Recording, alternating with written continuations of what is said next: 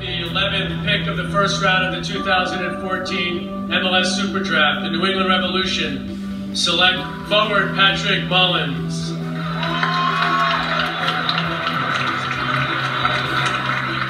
Good season. Yeah. Already Orlando City player out. What a shot! It's in the back of the net and a goal. Portillo with a rocket. As Mullins top the area, left-footed drive into the back of the net. First MLS goal for the rookie, and what a goal it was! What an absolutely spectacular strike. Welcome back, soccer fans.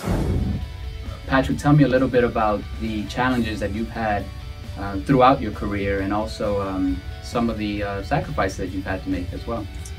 Well, it's kind of funny. I think one of my biggest challenges is also something I'm the most proud of is uh, growing up in New Orleans in Louisiana. Being a, a soccer player here is uh, something that I love. Uh, that's a part of me, but it was also a big challenge because um, we live in an area of the country where sometimes if, if you have big dreams for soccer, uh, it's not the easiest to accomplish them here. But uh, it was something I, I, really wanted at a young age, and I wasn't going to let being from New Orleans stopped me from doing that. Uh, I think it's some, some of my best times and stories of training to make sure that I gave myself the best opportunity to do that was with Justin. A lot of times we'd go out, just the two of us, and we have little what we call ping sessions, and we would go out work on every little technique possible. Obviously, he was more into the midfield stuff. I was into scoring the goals, but together we we helped each other out and worked on all of our techniques to make sure that we did everything possible to, to give ourselves the best chance to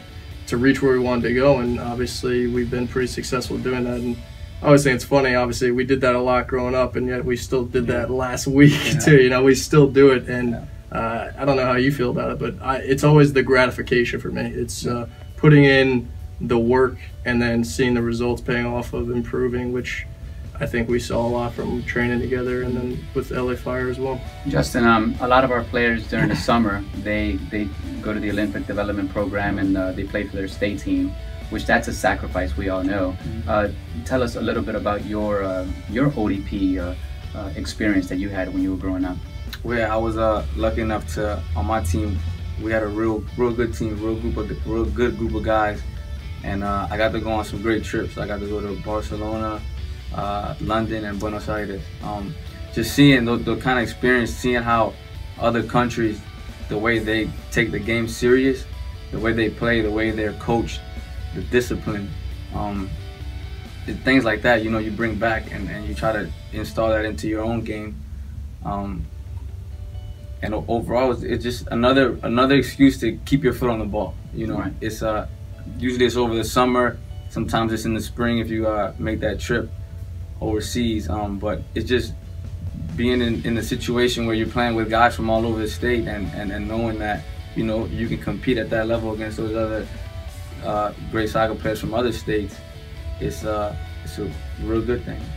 And Patrick, if, if there was one thing, I know there's many, but if there's one thing that you can tell young soccer players uh, from age 5 to 15 or 5 to 20, what would be one thing that you would say that has helped you get to where you are, where you're at now? I think a big thing is I talked before about finding that gratification. I think it's more finding a, a joy in the game. You know, Justin talked about some of these great glamorous trips that we were able to go on, and we're very fortunate. And uh, those were, you know, probably epic moments in our football and careers. But I think what was most important is finding the joyful moments in the training I did with LA Fire on teams with guys that, you know, maybe weren't the best players. Um, and, you know, I think I found joys in those moments with my friends, with people I grew up with that also called New Orleans home that, you know, maybe they didn't share the same soccer goals that I did or Justin did growing up, but uh, it, I was able to, you know, get the joy out of playing with them and, and knowing that I was going in the right direction I wanted to, but also enjoying those experiences with them. Right.